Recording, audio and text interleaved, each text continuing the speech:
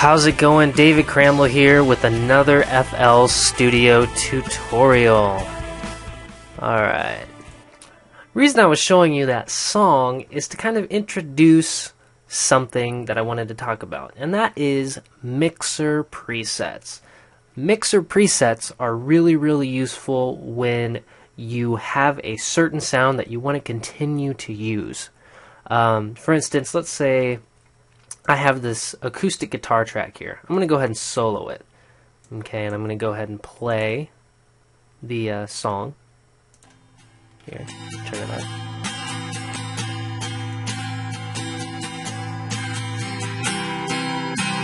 Okay, so this is my acoustic guitar track that I'm using.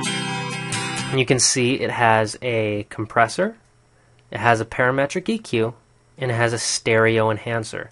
I use these things because I really like one, I like to use compression for different things to kind of equalize the sound so that things that are quiet will be a little bit louder and things that are too loud can kind of be a little quieter. I like to even things out. Parametric EQ because I got the guitar to sound how I wanted it. And then stereo enhancer is to kind of make the guitar doubled in a way to where it sounds like there's guitar on the left side and the right side.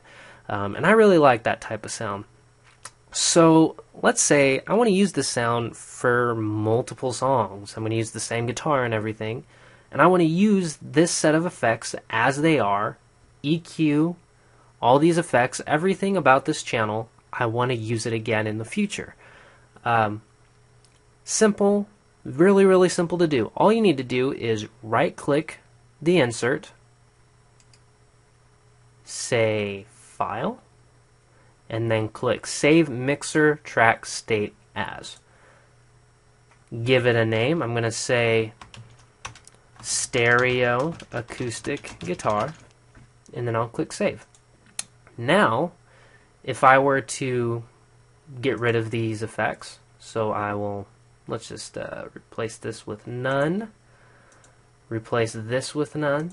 And replace this with none. Go ahead and even out the EQ here. Now we'll go ahead and give it a listen.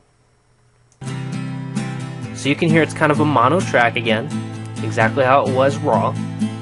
But now, if I want to add the presets that I created, all I got to do is right click, File, Open Mixer Track State, select the preset that I just saved, stereo acoustic guitar, click open, and there it is.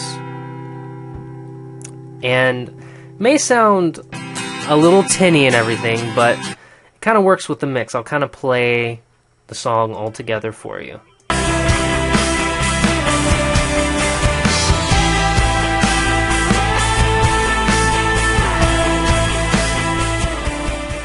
So you, you see, it, it doesn't really need to be too bassy. Um, this is a this is a really cool tool. So that again, if you have a sound that you like and you want to reuse it in the future, easy way to do it. Um, so yeah, that's how you create and use mixer presets.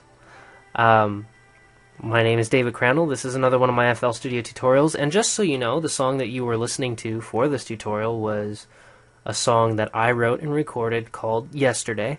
It is from my latest album, self-titled album. You can get the album on Amazon. Excuse me. You can get it on Amazon, iTunes, um, Napster, eMusic. You can listen to it for free on Spotify. Um, it's pretty much everywhere. I'll leave a couple of links down in the description if you want to go ahead and buy the song or buy the album. Great.